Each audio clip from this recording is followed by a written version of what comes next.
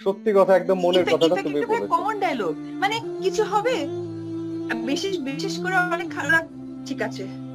তুমি আমাকে আমাকে ভালোবাসবে না তো? আমি জীবন দিলাম। আরে দূর! জীবন দিব কেন? যাই হোক আমার কাছে মনে হয় যে ভালোবাসাটা মানুষের কাছে পেতে হয় ভালোবাসা দিয়ে। রাগ করে বা জিত করে না।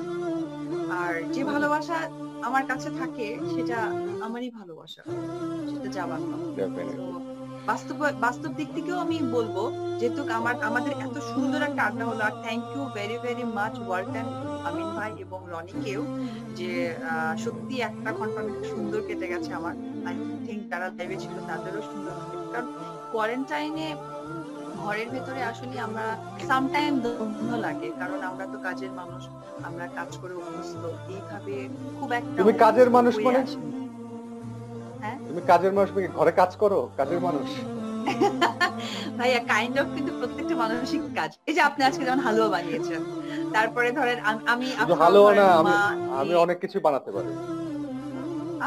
আচ্ছা একটা মিনিট একটা মিনিট। আমি অনেক ভালো কাচ্চি বিরিয়ানি রান্না করতে পারি। খাওয়াবো তোমাকে। আচ্ছা অনুষ্ঠানের প্রায় শেষ পর্যায়ে আমরা চলে এসেছি। আমাদের তিনটা কুইজ ছিল। এই কুইজের যারা সুমন হাসান কথা এক মিনিটে পার হয়ে গেল, বুঝতে পারিনি। খুবই ভালো লাগল। আর এই ওয়ার্ল্ড লাইভের মাধ্যমে আপনার সাথে অনেক সাথে দেখা হলো ফেস টু ফেস কথা হলো, খুবই ভালো লাগল। আর সবচেয়ে মজার কথা, খুব আড্ডা দিতে পারলাম। এই যে এত সুন্দর একটা প্রোগ্রাম অর্গানাইজ আছে ওয়ার্ল্ডে মানে ঘরে থেকেও ঘরে না থাকার মতো একটা অবস্থা, সে সত্যি ভাইয়া আমাদের মাঝে নিয়ে আসব, তুমি আবার আড্ডা দিবে।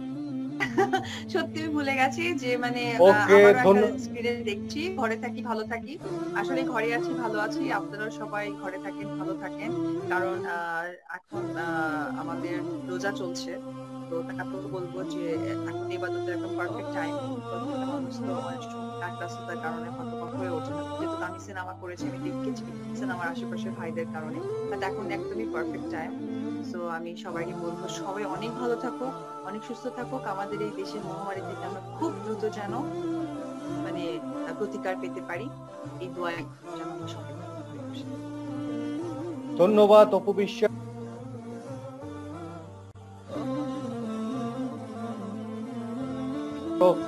সত্যি আমরা খুব এক্সাইটেড তুমি আসবে বলে দেখো রনি ভেগে পালিয়ে গেছে। রনি পালিস না। রনি সত্যি পালানোর জিনিস না। রনি দেখবেন কোথায় দিকে ঠাস করে চলে আসবে। মনে করেন আপনার আমার যে নায়ক নায়কের একটা রোমান্স ও কাবাব মে হাঁটি হয়ে যাবে। সো আপনি এই ব্যাপারে নিশ্চিন্তে থাকেন।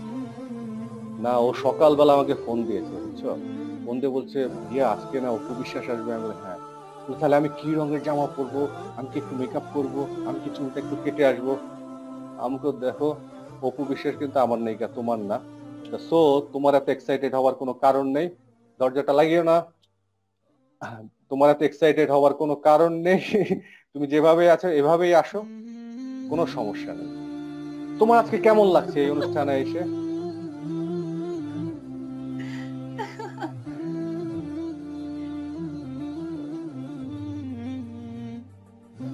আমার মনে হয় তুমি হ্যাঁ আমার মনে হয় তুমি এটা ফার্স্ট কোনো লাইভ প্রোগ্রাম এসছো নাকি? রাইট অর রং হ্যাঁ ভাই আমি না আমি এর আগেও কয়েকটা লাইভে গেছি। তো সেটা লাইভ ছিল। ফেসবুক লাইভে ফার্স্ট টাইম আসলাম ফার্স্ট টাইম আসলে এই লাইভটা করার উদ্দেশ্যটা হয়েছে কি জানো? এমনি তো তোমাদের সাথে আড্ডা দিতে পারি না। এই লকডাউনের কারণে যাওয়া যাচ্ছে না। চিন্তা করলাম যে এমন একটা প্রোগ্রাম করি ওপদি তোমাকে নিয়ে একটা সুন্দর কমেন্টস ছিল। কমেন্টসটা আবার যদি স্ক্রিনে দাও, আমি পড়তে পারি। তো ভাবলাম যে সুন্দর একটা আড্ডা যদি দেই, সেই আড্ডার সাথে সবাই থাকতো অপু দি তোমাকে অনেক সুন্দর লাগছে, বলছে, ফৌজিয়া সুলতানা সুইটি। সুইটি অপু দি এমনি সুন্দর সুন্দর তো লাগে সুন্দরকে সুন্দর লাগে, তাই না? না না না, ওরকম কিছু না। ওরকম কিছু না। সত্যি কথা বলতে গেলে কি সবাই আমাকে এত বেশি ভালোবাসে? আমিন ভাই সবাই এত বেশি ভালোবাসা পেয়ে এসেছি। তাই একটু সুন্দর সুন্দর বলে। আর সুন্দর বলে মেয়েদের ভালো লাগে। আপনি কিন্তু শুরুতে একটু বলতে পারতেন অপু অনেকদিন পর তোমার সাথে দেখা হয়েছে। তোমাকে অনেক সুন্দর লাগছে। কেন আশেপাশে কি ভাবি ঘোরাঘুরি করছে? আপনার না আসলে- একটু মানে এর মধ্যে দুই তিনবার দরজা খুলে উকি দিয়ে গিয়েছে। তুমি কার সাথে কথা বলছো আজকে? বুঝছ না? শত হলেও তো। এই জান্নাতুল কি জানান উল ইসলাম লিখেছেন proud to be first elevator company in Bangladesh. Thank you, Walton. Thank you, জানেউল ইসলাম ও থ্যাংক ইউ দিয়েছে। বাংলাদেশের প্রথম ওয়ালটন এলিভেটর তৈরি করেছে। যে লিফট তোমরা বাসায় ইউজ করো। এতদিন তো বাইরে থেকে ইম্পোর্ট করে নিয়ে আসতো সবাই। পারদিন চৌধুরী লিখেছে দিয়ে আপনার নতুন সিনেমা হলে দেখার। ফারদিন চৌধুরী। পারদিন চৌধুরী। পারদিন চৌধুরী লকডাউন যাক তারপরে অপু অপু বিশ্বাসের নতুন ছবি ইনশাল্লাহ দেখতে পাবে সবাই। আসলে সবাই এখন মানসিক ভাবে ভেঙে পড়েছে। ঠিক যে এই যে এই যে বললাম না কোথায় যায় কোথেকে জীবন ভাই আমার নেট খুবই স্লো বুঝছি না আজকে সত্যি কথা বলতে গেলে কি আজকে একটু হ্যাঁ। নেট প্রবলেম করছে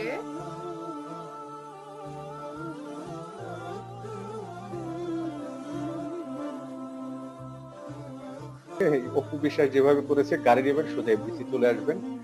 গেটে দারোয়ান জিজ্ঞেস করবে কি দরকার? বলবেন যে অভিনয় করবেন সোজা ঢুকে যাবে। নাকি? তাহলে তো হয়ে যাবে। না না ভাইয়া সত্যি কথা বলতে গেলে কি আমাদের এই জগৎটা কিন্তু আসলে ভাই একটু সুন্দর একটা জগৎ। এই জগতে যদি আপনি সুন্দরটা সুন্দরভাবে প্রেজেন্ট না করেন না শিখে কিছু করেন যেমন আজকে আমিন ভাই সত্যি কথা বলতে গেলে আপনি আসলে অনেক গ্রিপ মানুষের কাছে অনেক গ্রিপ জান তো হ্যাঁ, একজন। আমিন খান বা একজন এত বড় নাম হতে গেলে তো জানতে হবেই ভাই।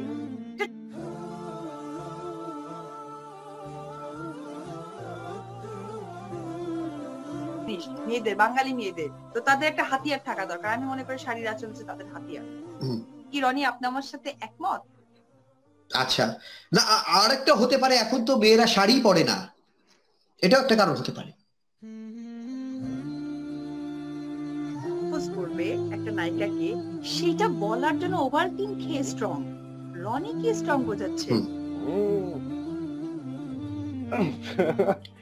রনি বুঝতে পেরেছ তুমি কোন স্ট্রং এর কথা বলছো?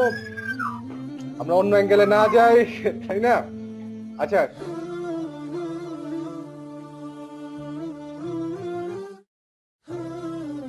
এরকম কোন অভিজ্ঞতা আমি আছে? আর একবার বল রনি?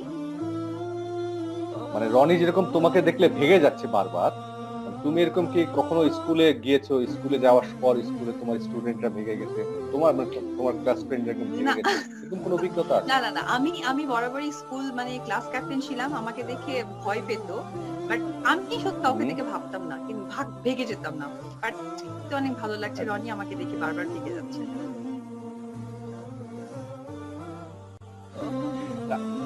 যখন যাই আমার সারা জীবনের সঞ্চয় দিয়ে তারা চিন্তা করতে চিন্তা করতে যায় ওয়ালটন আমাদের যে দেশি পণ্য এবং ওয়ালটন আমাদের এখন কিন্তু আমি বলতে পারি যে আমাদের ওয়ালটনে আহারে রনির চেয়ে বলে সেদিনকে তোমার ভাবিকে নিয়ে বের হয়েছি আর কি বুঝছ? গাড়িতে করে যাচ্ছি। হঠাৎ একটা সাইনবোর্ডে লেখা আছে যে তোমার জামদানি শাড়ি দশ টাকা শিপন শাড়ি আট টাকা সুতি শাড়ি পাঁচ টাকা। তোমার ভাবি বলতেছে এই দাঁড়াও দাঁড়াও দাঁড়াও দাঁড়াও আমি, কি হয়েছে? বলে দেখছ এখানে শাড়ির বিশাল মূল্য হ্রাস চলছে। জামদানি শাড়ি দশ টাকা সিল্ক শাড়ি আট টাকা সুতি শাড়ি পাঁচ টাকা আমার তিনশো টাকা দাও আমি অনেকগুলা শাড়ি কিনে আসি। আমি বলছি আর একটু ভালো করে উপরের দিকে তাকিয়ে দেখো এটা লন্ড্রির দোকান। মানে এখানে দশ টাকা শাড়ি আয়রন করা হয়। আমি আমি ভেবেছি আমি ভেবেছি যে এগুলো হয়তো বা পার্সেন্টেজ মানে Jamdani sari ten percent five percent three percent কিন্তু আপনি লাস্টে লন্ড্রির দোকান বলবেন এটা বুঝে উঠতে পারেন মানে খালি যদি শাড়ির নাম থাকে তারপরেও আহ, ভেঙে দিব কোনো সমস্যা নেই। আমি না একটা মজার একটা গল্প দেখলাম। হ্যাঁ ফেসবুকে আচ্ছা, দেখলাম সেটা হচ্ছে যে আমি আচ্ছা, জানি কি আমার গেঞ্জি দেখে হয়তো গেঞ্জি- লোভ হয়েছে হয়তো বা সে আমার মতো একটা লেডিস গেঞ্জি চাচ্ছে আমি বুঝতে পেরেছি। তো ওই পরিপ্রেক্ষিতে একটা গল্প সেটা হচ্ছে একটা বউ মানে ওয়াইফ তার সে হচ্ছে গিয়ে খোঁজাখুঁজি করছে। তো সাইড থেকে তার হাজবেন্ড বলতেছে কি খোঁজো তুমি? তো বলছে টাকা। আমার টাকাটা কোথায় খুঁজছি? তো হাজবেন্ড বলতেছে সব সময় খালি বলে আমার টাকা আমার টাকা। কেন বলতে পারো না? এটা আমাদের টাকা। তো ওয়াইফ টাকায় মনে করেন একটু বিব্রত হলো। আবার সে খোঁজা স্টার্ট করেছে। আবার হাজবেন্ড বলতেছে কি খোঁজো? বলে আমাদের ব্লাউজটা খুঁজছি।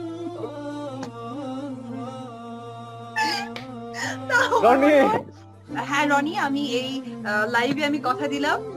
অবশ্যই অবশ্যই। আমি একটি আমার মতো একটা গেঞ্জি আমি রনিকে গিফট করব। আমাদের ব্লাউজ মানে হ্যাঁ। কি কি?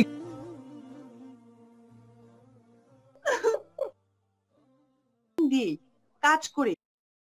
নেই বলে।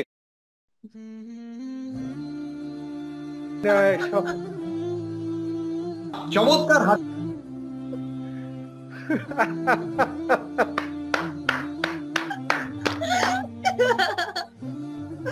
যারা আমাদের অনুষ্ঠান দেখছেন, অপু যত ছবিতে নায়কদের দেখে বলেছে, তোমাকে ছাড়া বাঁচবো না। সবচেয়ে অপছন্দের ডায়লগ ও মাই গড